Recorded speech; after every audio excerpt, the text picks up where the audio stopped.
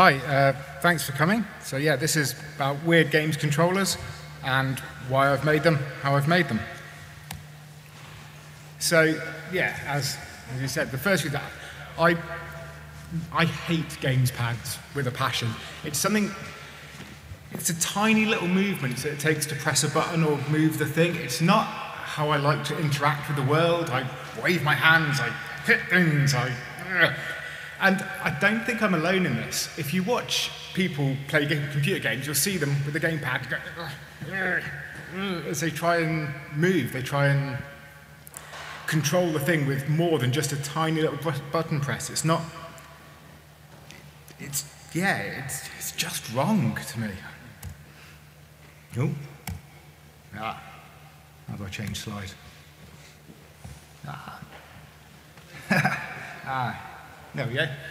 So there was a time when it was better. You know, the Nintendo Wii was out, and for about five years, people play games. Young people play games, old people play games. They swung their arms around, and it was just great fun. It was there's all sorts of games you could play. You know, bowling, tennis, you, you know them all, and it was it was it was a great way of playing games. And then it just stopped. The Wii sort of gradually became older and older, and there was, never really a successor. There's, there's VR games now that kind of look cool, but I'm 40 and VR has been the next thing in gaming for my entire life. And I don't know, maybe it's about to be a thing, but it's also it's almost a step too far. I don't need it to be serious. I just want something to play in my lounge when I plug into the TV and be able to wave my arms as a computer. Um, so admittedly, this is a very self-centered talk. You'll hear me talk about myself a lot and the things I like and I dislike. Um, and that's because I'm just trying to make games that I, or game controllers that I enjoy using. I'm not going to stand here and say this is the right way of doing it, this is the wrong way of doing it. Uh, it's just what I enjoy, and you'll in, probably agree with some of it, you'll probably disagree with some of it, and that's fine. But what I really want more people to understand is, and take away from this is that you can make game controllers that you enjoy, and they'll be different from the ones I enjoy. They'll be different from the ones someone else enjoys. And hopefully, over time, we'll find ones that each other like and just have great games to play and great controllers to play them with. So, at a sort of fundamental level, a games controller is an interface device. On one side, you've got a computer, on the other side, you've got a human, and you've got to let the two speak together. Um, so on the computer side, we'll sort of look at that in a little bit, but that's, that's actually really easy. On the human side, that's really where you want to focus. That's, and there's loads of ways of interacting with computers. There's big buttons to smash, there's things to wave at and push and pull, and you know, 50 years of computer evolution has given you all these technologies that we can incorporate in our games in various ways, different sensors, different actuators, different things to bash and wave and things. So yeah, now just want to show you a few of the games controllers that I've made over the years. So this is one for, it's a game called Boing, um, which is just, it's a complete rip-off of Pong. Um, so I should disclose at this point, I, I work for Raspberry Pi in their publishing department. This is from a game called Code the Classics, which, uh, sorry, from a book called Code the Classics, which we published.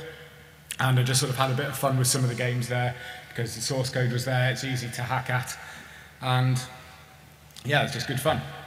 Uh, so as you can probably see, this is uh, an ultrasonic sensor. They're cheap, they're widely available. There's hundreds of libraries and modules for use them in all sorts of languages.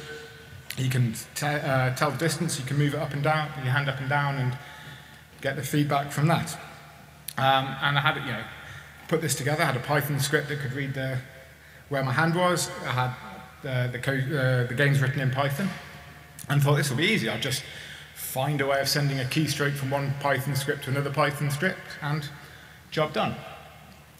Turns out it's actually really hard to send keystrokes from one program to another. Um, it's, there's kind of some testing frameworks there, but it's really it's against the security protocols of, I think, most operating systems. You don't want them to have to just chuck keystrokes at other programs. And I missed the blindingly obvious solution to this that we'll see in the other controllers I've made. But in this, I had to hack the source code to the game to incorporate the, the distance sensor, which was kind of janky, um, but it, kind of, it worked. It was fun to play. Um, so one of the, uh, no, I was talking about that. Um, yeah, so it was kind of janky, but it was fun, and that was my first controller.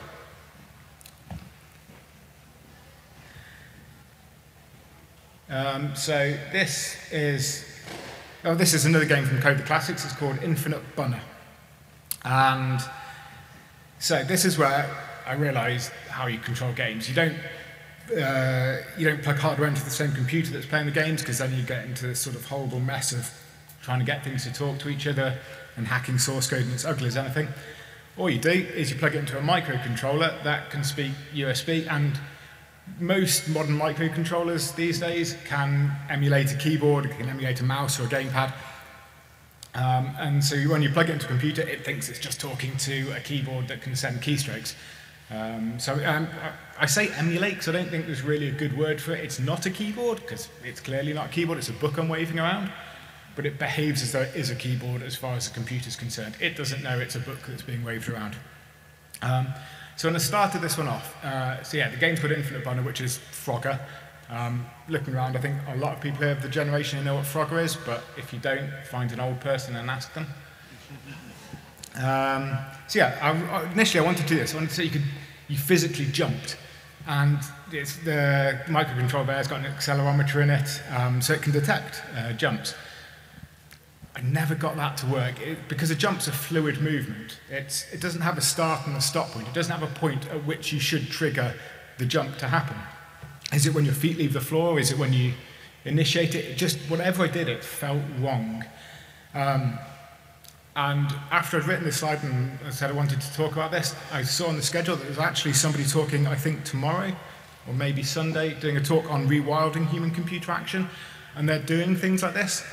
Um, I have no secret information about that talk. I've not spoken to them. I don't know what it's about, but I'm excited to go and see because I think they're doing things that are more about gesture recognition um, that might be able to solve that. I don't know. Um, so yeah, in the end, I gave up on the jumping and I did it so you can just flick the book up and sideways, and that's how you control Frogger, uh, Frogger or Bunner. And yeah, it was it was good fun to play. And I'm not quite sure why there's a blank slide there, but never mind. Um, so, um, ah, I know why there's a blank slide there. Sorry, I'm getting ahead of myself. The reason there's a blank slide there. Um, this was one I didn't take a video of, unfortunately. I got a, so as part of my job, I review hardware. I got a ESP32 based um, smartwatch in to play with, and it, had a pedometer on it. And you could query the pedometer and it would tell you how many steps you could do.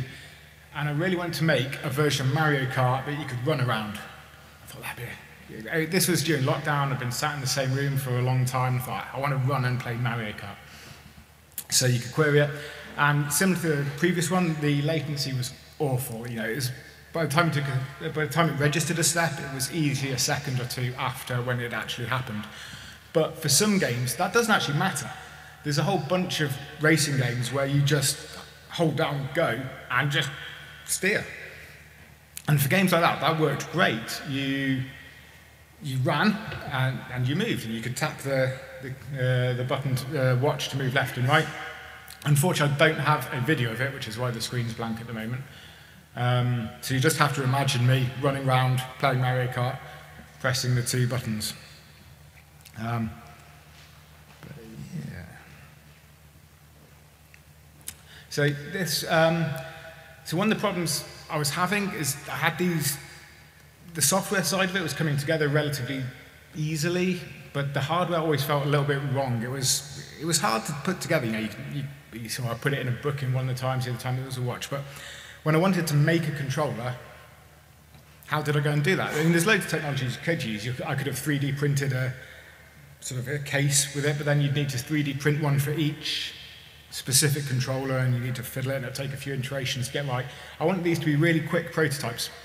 Most of the ones you see here, I was able to create in a couple of hours, uh, including hardware and software, maybe three or four hours for some of them. Um, so you could just, you didn't have to worry about it. It wasn't a serious project that I really invested in. You'd hack it together, play some games and see what I liked, see what I didn't like, iterate again, try something else. And the PCBs here, they are, it's just proto board. Um, it's custom made proto board in the shape of a games controller. Um, with a space for mounting a Pico on it. And you could do it with any microcontroller, but it'll work for Raspberry Pi.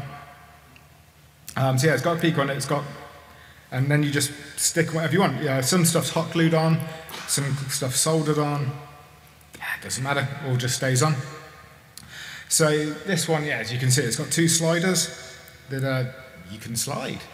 And in a sense, it's the same information. It's very similar to you might look at a joystick or a joypad, but actually the way you use them is surprisingly different. It's a much bigger movement than you'd use on most. You have to actually move your whole hand.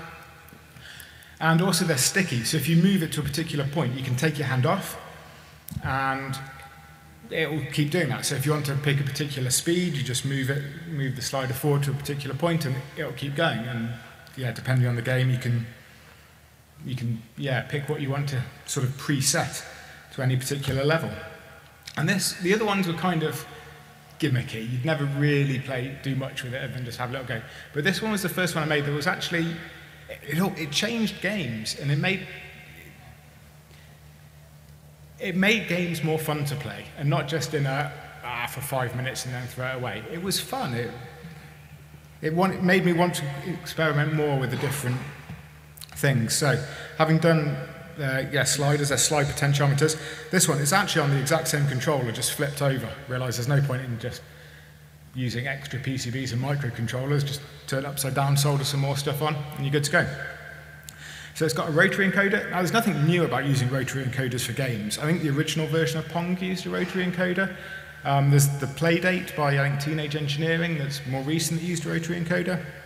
Um, but they they had specific games written for that hardware. Um, this is a more general purpose one. So originally I wanted to make a steering wheel that you could sort of play racing games with and sort of turn left, right. And that, it worked, it was fine, it was, it was a bit boring to be honest. But what I discovered is you can use it almost it's, it's almost like riding a bike. You have to twiddle it around and you have to keep moving it to hold the button down. So in this game, you can see that you have to keep moving it to turn left and, or keep moving it to turn right. And it's, and that, it takes what is a static movement in most games. Most of the time, if you want to move right, you just hold down the right key or the left key. Suddenly it's active, and that's, it's almost psychologically different in the way you play the game. It's, it's a bit hard to put your finger on exactly what it is, but it's, it engages you in a way that perhaps you don't when you just hold down the key and tap another button to do things. Uh, and again, this one, to me at least, it, it made the games more fun. It wasn't just a janky prototype, it was something I actually sat down and played with. Um, and the other thing that both of these had is um, micro switches on the shoulders. And I discovered that I really like hitting micro switches. They're really satisfying. The little bit, they've got really positive movement and a little bit of spring at the end, and they click. Um, so yeah, that was those two controllers. So this one is perhaps, I don't know if it's a more obvious one or, or not, but it's, uh, it's got nine axis IMU in it, so it can tell which way up it is. And this one, it's just been used like a steering wheel, so yeah, perhaps a little, sorry, there are a lot of spiders here. I don't know if I've angered some spider god or something, but uh, yeah, or maybe they just want to play the games, I don't know. Um, so yeah, you use it like a steering wheel, you can tilt it, um, and that was, that was kind of fun. But the other thing about this is you can change the firmware, it's just a little bit of code. Um, so the same controller can work in completely different ways. So this can also detect where you're, where it's pointing in sort of the horizontal plane, uh, tilting on the z-axis, I guess. Um, so you can do that. You can, so it, you can play I, I tried it, you can play Doom where you actually have to turn around to, to move the character. And that kind of works, but the, there's a fundamental problem with the USB controllers that I don't think there is a solution to, and that's that you can't get feedback back from the game. So if you use this controller and you turn 90 degrees, most games don't have a keystroke that says turn exactly 90 degrees. You hold down a key for a bit and it turns a bit. So it's basically impossible to map that to one of these controllers. You can turn, and it can turn, but you might turn 90 degrees, and the, your character might turn 180 degrees. And that gets incredibly disorientating very quickly. So that was, a little bit of a disappointment. Um, uh, maybe there's a way around it. Uh, I haven't worked out what it is yet.